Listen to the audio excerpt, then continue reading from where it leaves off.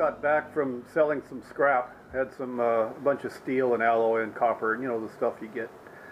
And they had a bandsaw sitting there, and I asked them about it, and they said, "Wow, somebody just dropped it off. I mean, literally dropped it off." And I was going, "Well, does it work?" And they said, "They don't know. It's just scrap." And well, I said, "I'd be interested in. I'll take it off your hands." And they said, "Well, we can't do that." We've got a, a, contract with a, a, buyer that buys stuff like that, and I'd have to come some other day and work with that guy. So, anyways, I figured that's too hard. So uh, I just continued with uh, unloading all my stuff, and I got paid for it. Before I left, they came back out and they said, "You know, we'll we'll sell you that for ten bucks." Ten bucks? I don't know if it works. Don't know anything about it, but I reckon I can make it work because it looked okay. Yeah, so here's my $10 bandsaw. It's a Porsche, made in Taiwan. It's a bit rusty. Uh, the blade is gone. The um, rubber uh, tires on the wheels have perished.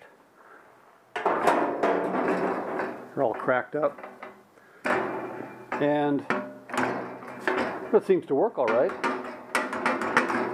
All the adjustments are here. That seems to be there all right. I don't know if the motor works. It's awfully rusty. What I said, he dropped it off. I mean, literally, he dropped it off. That thing was bent, so I got to fix that. Anyways, let's take a look and see if this thing actually works. I don't know anything about it electrically, so I'm going to do some checking on it first. Make sure it's not shorted out so I don't blow on the fuses. A good motor will appear to be a short circuit. Uh, but you know, it's, it's got some resistance.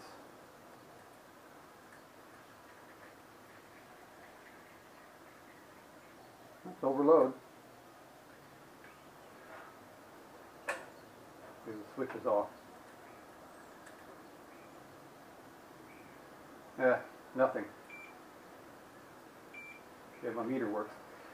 Well, let's just plug it in and see what happens.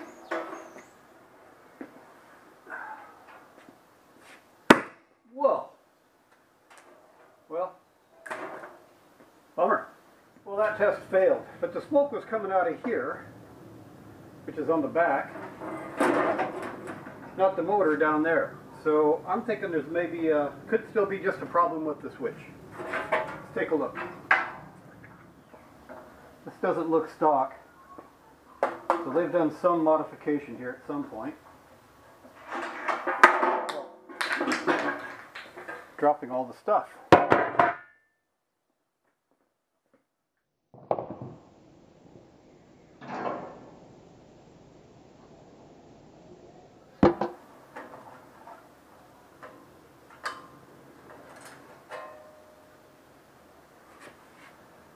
There's your problem. Wire broken off this relay, shorted against the frame. Might be lucky yet, this thing still might work. wonder why it's got a relay. I think they're using this relay to use a low current circuit on the switch to make a high current circuit through the relay. Yeah. That's my theory and I'm sticking with it. I don't know why they'd use this relay because I believe this motor is only one half horsepower or 0.375 kilowatt. So um, 3.7 amps. I should be able to do this with just a standard switch and forego the relay altogether. That's what I'm going to try anyways. Let's just make something up temporarily. Just a regular power cord. I want something shiny here to earth this to. Okay, I'll do that. I've got some screws here. I'll just put it into one of these screw holes. And use a star washer. Make sure I get a good earth. Put a star washer here somewhere. That'll do. Star washer. Clean this up to get a good earth.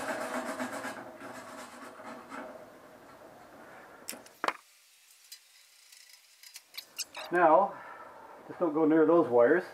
And we'll try this again. Okay, I've got this turned off at the wall. I can plug this in safely. No circuit. Yeah, rubber tire's gone. And let's see if those things turn down there. Stand back. Hey! We have a working motor. Just a bad switch on this.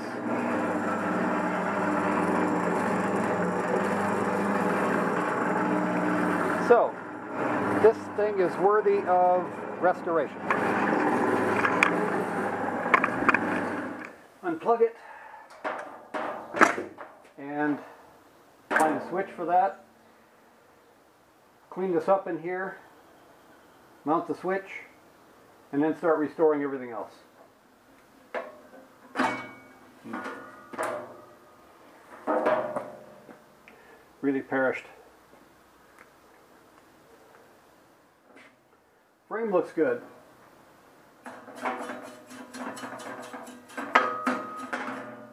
Probably have to take this off here so I can get to the back side of the top pulley.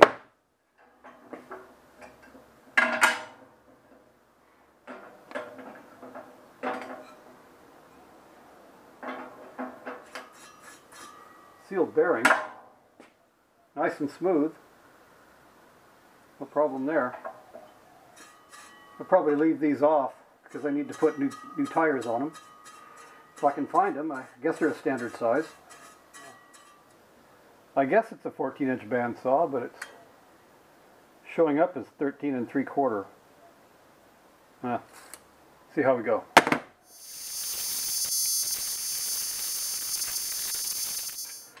This is the wrench I have at hand. We'll try that one. Tightening it. Get the left hand thread. Interesting.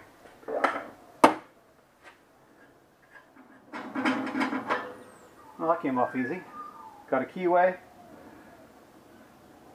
So far, so good. So this has got different size pulleys. Therefore, I can change the speed on this. I guess you have to do that when you're cutting wood, it's one speed. When you're cutting metal, it's got to be a slow speed. The belts, I don't know. They're kind of, I don't know if they're good or not. They're kind of loose, but I can adjust that with the adjusting the motor. This one here, I don't think I can adjust. There's the adjustment on the motor. I can make that tighter if I need to. This one here, I think I'll leave it. So I think these belts are okay. They're not checked. Seem to be okay. Now, this belt is now tighter than that one, so I'm going to call that good.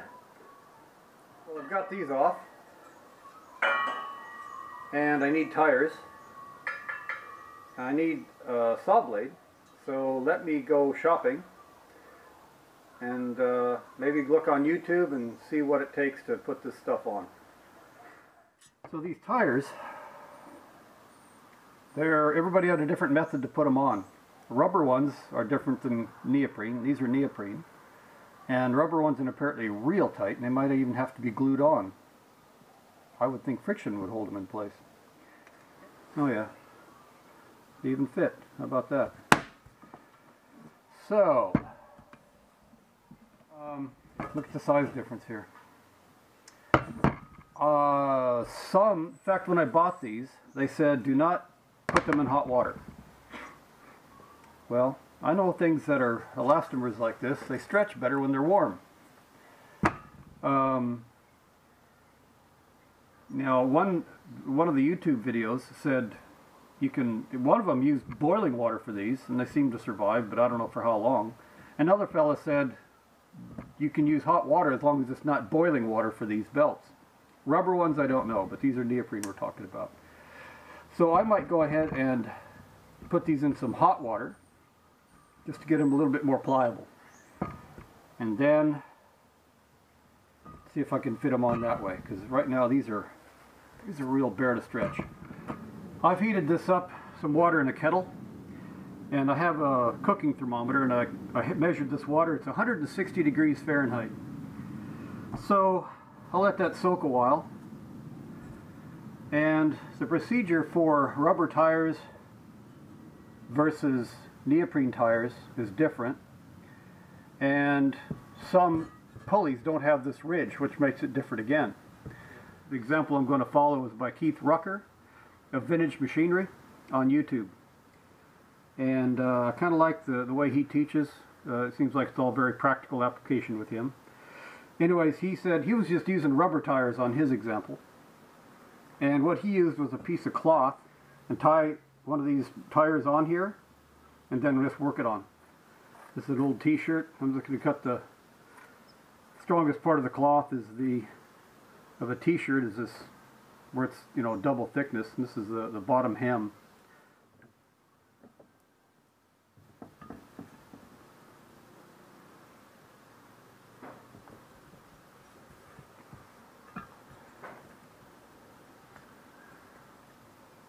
Now he does this because in other examples that I saw on YouTube, the uh, they were actually using a block and a, some kind of clamping device, and apparently that can hurt a tire over time. It will um, cause a flat spot, and it'll over time it'll make it degrade prematurely. So I'm just using this cloth. Okay, then he just says just stretch it on.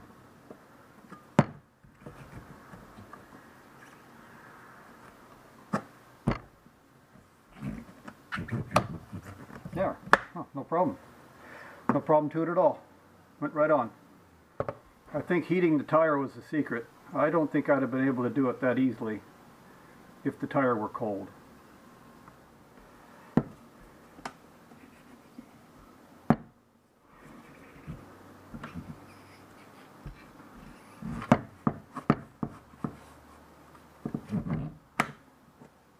Now I'm going to put these back on the on the bandsaw and I'll uh, even out the tension of this tire all the way around. Remember, rubber tires, I think you've got to glue them on. I don't know if that's always the case. Maybe not when you got a band, when you got a, this one's got a rim all the way around. But uh, neoprenes, I don't think you glue those on.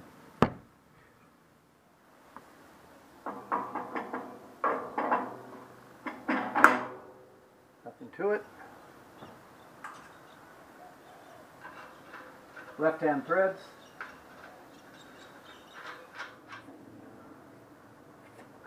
But none they're very tight, so I'm just going to go. Good enough.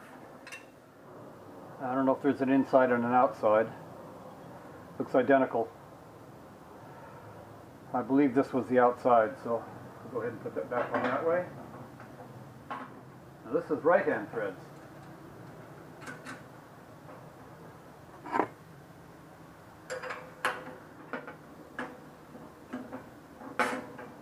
Too tight.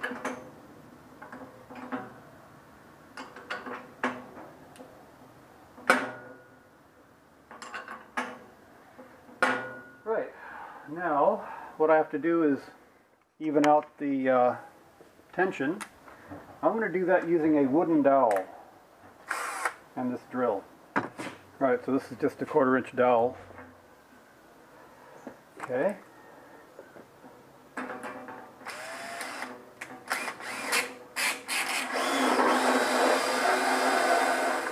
So there's the top one.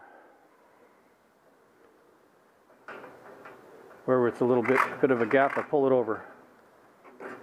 Good. Do the bottom one now. This one still has the pulley attached to the uh, motor. So,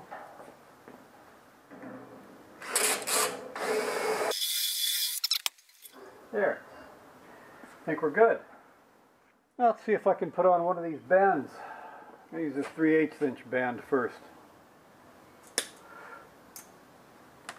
They're springy.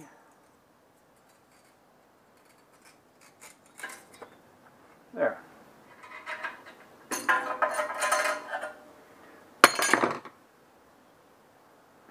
I have some cleaning up to do yet. Part in there is still really bad.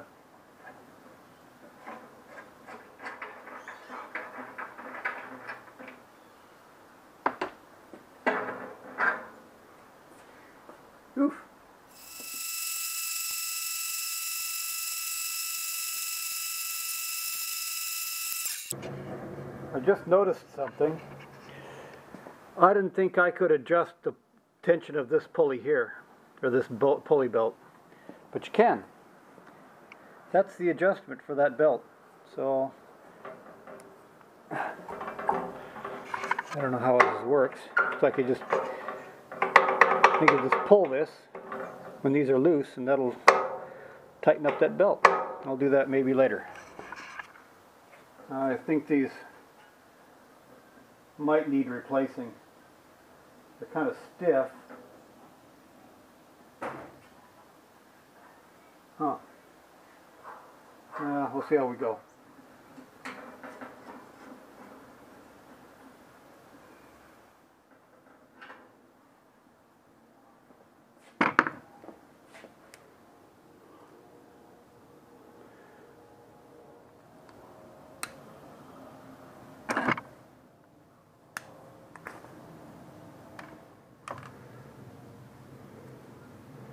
Yeah, that bearing is smooth. It's just stiff. Might put some machine oil in it.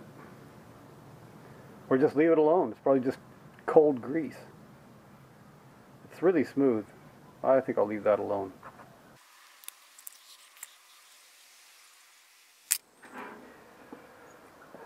That's really interesting. I was just trying to put that on there. This is off center, as you can tell.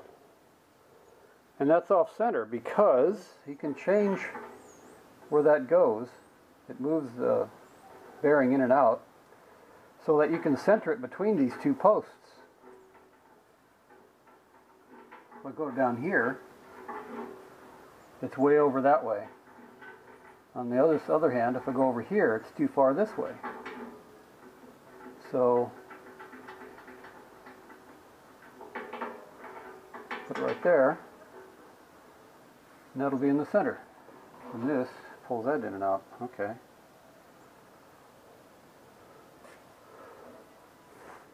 Ten millimeter. Perfect. These must be bronze or something. But uh, we'll just leave this loose for now, and I'll adjust them when I get the band in there. Trying to get this thing aligned side to side so that it will, I'll put the band in here and then I'll do my final adjustments. Well, everything's going to be in the right place.